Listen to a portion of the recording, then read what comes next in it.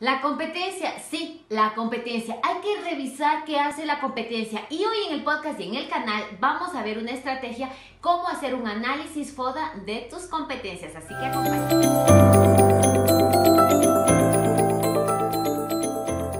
Madres Emprendedoras, episodio 148.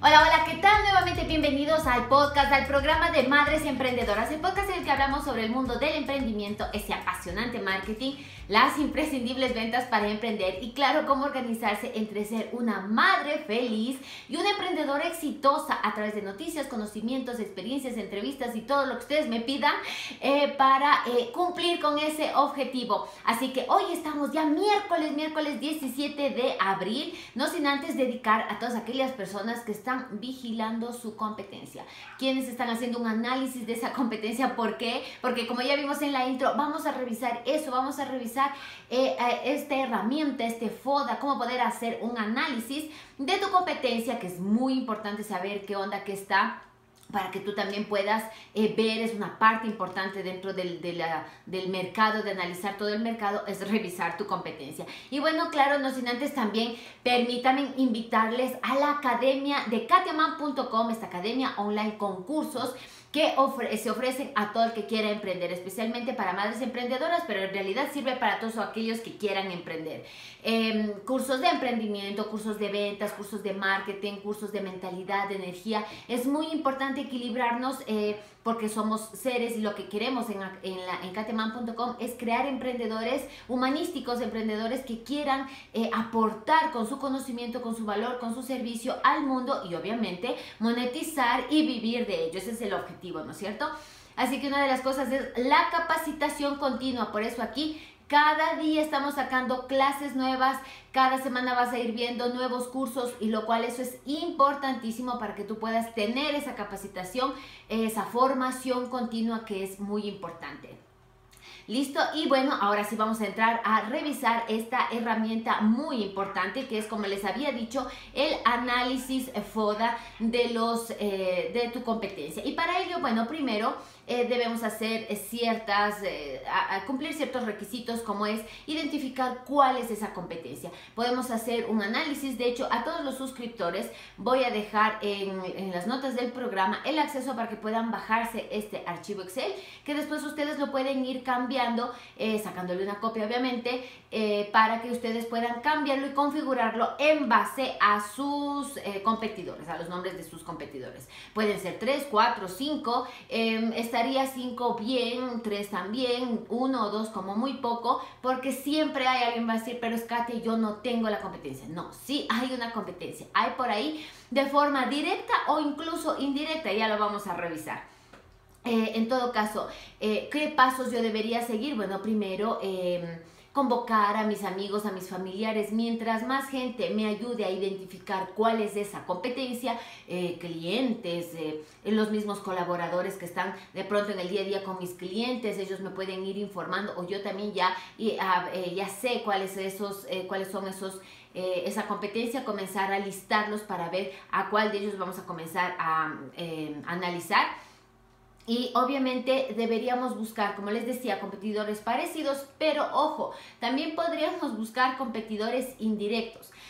¿A qué me refiero con el tema de indirectos? Que si es que yo, por ejemplo, este, doy clases de danza en las tardes a los chicos, eh, resulta que también otra actividad que no tenga nada que ver como es la catequesis eh, o mm, otro tipo de cursos o las, eh, las clases eh, extracurriculares que también pueden servir. Me pueden ser eh, competidores indirectos, ¿por Porque estos chicos ocupan esta misma, pueden ocupar estas actividades dentro del mismo rango donde yo ofrezco mis cursos de danza, ¿sí? ¿Me, explico? Eso es, eso es una competencia indirecta. No, no es alguien que también está montando cursos de danza, sino que alguien que da un servicio de pronto a la misma hora o con los mismos, o a mi mismo nicho de persona dentro de un segmento, dentro de un tiempo, en este caso, en el cual yo podría captar a esos eh, futuros prospectos. Entonces, ojo, también tomar en cuenta aquellos competidores que no necesariamente son directos, sino también pueden haber aquellos indirectos. Y bueno, este hacer posibles combinaciones de qué posibles escenarios podríamos manejar. Ya lo vamos a ir revisando más en detalle, vamos a hacer algunos ejemplos y eh, de acuerdo a esto hacer distintos escenarios en base a cómo vaya yo puntuando el, este, este archivo en Excel. A ver, este archivo en Excel... Eh, este análisis que estamos revisando FODA, por ejemplo, es, em, vamos a revisar las cuatro P's. El producto, que es los atributos, por ejemplo, eh, durabilidad, es eh, ah, presentación, eh, el, cómo está empacado, todo este tipo de cosas. Por ejemplo, vamos a hacer Vamos a aterrizar este ejemplo para que quede un poco más entendible. Em, suponiendo que estamos haciendo o em, somos una agencia de viajes y de pronto lo que queremos es evaluar el viaje de, un, grupo de escolares de fin de curso, un viaje que se van a Atacames, ¿ya? O cualquier lugar, ¿listo? Entonces comenzamos a validar eh, diferentes em, empresas que dan este mismo servicio o como les decía otro que dan eh, el mismo servicio que yo doy por ejemplo, tengo, eh, identifico que tengo tres resorts, un, o de pronto un resort, un hotel, un hostal.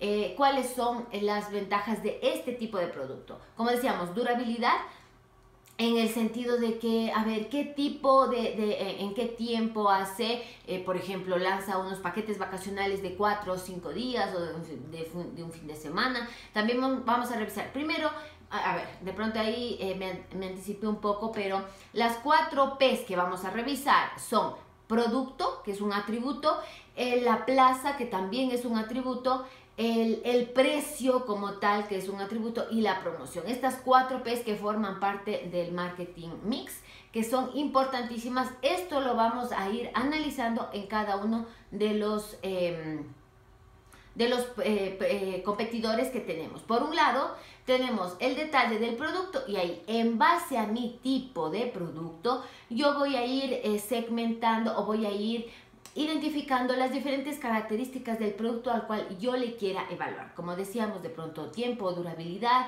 de pronto este, decimos facilidades que dan, también va el tema de la plaza. Em, eh, por ejemplo, en Dempra de Plaza sería cerca, eh, cercanía de pronto al trabajo, horarios de atención que facilita, si es que es seguro, si es fácil de acceso, si de pronto a donde llega tiene parqueadero o no, qué tipo de mm, eh, servicios da, aire acondicionado, da televisión, todo esto dentro de, la plaza, como decíamos, dentro del producto, qué tipo de paquete turístico está ofertando, eh, qué ventajas le da, viene o no viene incluido el tema de alimentación y de bebidas. Bueno, aquí, esto como para poner un ejemplo, esto se podría tranquilamente pasar a otro, a cualquier segmento. Dentro de precio es cómodo, realmente es accesible el tema de la promoción también, eh, hacen de pronto alguna oferta, un 2 por 1 hacen de pronto em, eh, por un paquete de unas 5 personas le dan una gratis o por pronto pago hacen algún descuento. Todo este tipo de cosas también la vamos a revisar. Y al final también podríamos aumentar como otro em, atributo sería el personal de ventas eh, que tiene esta persona o tienen estas em, estas competencias, eh, cómo es la atención al cliente. Claro, para esto deberíamos hacer un análisis, revisar, hacer investigación, incluso uno mismo personalmente, o contratar o pedir apoyo, amigos, a través de llamar al teléfono, a través de que es factible acercarse. Aquí imaginación al poder. Aquí es como una especie de Sherlock Holmes que comienza a investigar y a sacar eh, pistas clave que tú esto lo vas a pasar a este FODA. ¿Por qué? Porque dependiendo de esto tú vas a decir, bueno, ¿tiene debilidad o tiene fortaleza? Por ejemplo, si yo estoy diciendo que dentro de la promoción tiene una oferta eh, que de pronto yo no la tenía, que es atractiva, bueno, esta es una pongo una F que es de fortaleza en este, en este competidor. En este competidor. Y yo, eh, bueno, a la larga, después de puntear cada uno de los eh, de las características dentro de cada atributo, si es debilidad o fortaleza. Si es debilidad o fortaleza, obviamente debilidad eh, resta y fortaleza suma. Eh, esto a la larga me dirá que mi competidor posiblemente es fuerte en las, en las promociones de sus productos. O de pronto tengo otro proveedor que es débil de pronto en el manejo de los precios, no maneja muy bien los precios o son tan baratos los precios que la gente lo percibe como muy mm, que no genera mucho valor. También puede darse el caso. Todo esto es cuestión de que comencemos a analizar y aterrizar. Como les decía, por un lado, dentro de la del Excel tenemos los diferentes atributos que podemos ir eh, puliendo en cada uno de ellos las características. Vamos, por ejemplo, a hacer Hagamos otro ejemplo ya dentro de lo que es producto, plaza, precio, promoción e incluso el personal de ventas que puede atender o llegar a, o cómo es ese, eh, ese, ese grado de atención que tiene el competidor. Suponiendo que estamos en cambio ahora manejando, no sé, una tienda de ropa, entonces igual vamos a identificar si yo vendo tienda de eh, ropa de moda para mujer, eh, cuál es, la, la competencia que yo tengo, igual del tipo de producto. Ah, tiene producto de moda, tiene un producto de buena calidad, tiene un producto de, vanguardia, de pronto está siempre sacando nuevas colecciones, eh, con qué frecuencia las está sacando, esto dentro del producto. Si yo puedo identificar dentro de mi segmento cuáles serían esas características dentro del atributo de producto, eh, voy eh, y por otro lado tengo del otro lado de la matriz, en la parte de las, que sería esto de las columnas, tengo los diferentes proveedores, eh, perdón, proveedores, competencias. Tengo una, dos, tres, cuatro, hasta cinco competencias. Es válido hacer esta evaluación y en cada una voy viendo. Ya, por ejemplo, tengo dentro del atributo producto el, una característica que sea calidad. Perfecto, calidad. Reviso, calidad tiene eh, la competencia número uno, no tiene debilidad. Eh, la competencia número 2 la tiene, sí, fortaleza. La competencia número 3 la tiene, sí, fortaleza. Y en base a eso voy haciendo, eh, voy llenando esta matriz, identificando si es débil o es fuerte, ciertas características dentro de cada uno de estos atributos. El segundo atributo sería plaza, por ejemplo. La plaza es el lugar donde atiende cómo está de pronto eh, hablando en esta boutique eh, o una tienda de ropa, pues eh, genera un buen ambiente, un, buen brandeo de su, de su mercadería, tiene iluminación, de pronto tú entras y es, es un ambiente muy cómodo que, te emplaza a, transportarte y realmente habla su nicho de, de mercado. Todo esto voy apuntándolos como características y cada uno de estos iré viendo si los distintos competidores que yo escogí dentro de esta matriz voy definiendo si tiene debilidad, si tiene fortaleza. Sí, lo mismo, el precio eh, como otro atributo. Bueno, eh, de pronto en precio puedo decir, da crédito, es conveniente em, o da qué tipo de facilidades da. De pronto da diferentes formas de pago, no solo da crédito, da contado, eh, qué tipo de esas cosas son. Entonces ya yo iré poniendo como diferentes características dentro de este atributo de precio, que si da tarjeta de crédito, que si de pronto el precio es cómodo, es competitivo, que si eh, me da diferentes formas de pago adicional a la tarjeta de crédito. Todo esto yo definiré y iré validando cada uno de los competidores. Igual, eh, tiene eh, fortaleza, no lo tiene debilidad. Y el otro, este, promoción, es otro de los atributos, igual como promoción. Ah, utiliza de pronto, aparte, este, llega por redes sociales, siempre está eh, mandando y eh, publicitando a través de las redes sociales, Facebook, Instagram. De pronto tiene su Instagram Shopper que tú le das clic y accede directamente. Y esto yo no lo hago. Wow, entonces esto implica que es una debilidad mía y una fortaleza para uno de los competidores.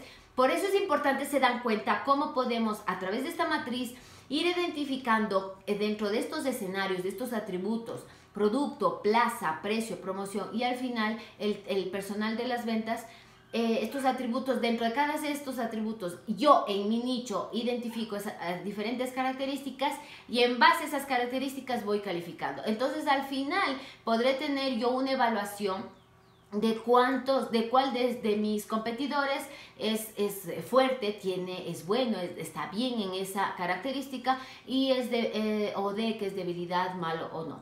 Esto ya me va a permitir ver a mi competencia un poco más de forma, ¿qué les puedo decir? No subjetiva, sino ya más objetiva. Ya he hecho un trabajo em, bueno, sí, sé que no estamos, no es cuantitativa porque no estamos calificando en números, pero bueno, sí que sí, porque a la larga voy a cuantificar eh, cuántas Ds y cuántas F sería un menos 1 o más 1 y sí que, es, eh, sí que estamos cuantificando y ahí podríamos ver.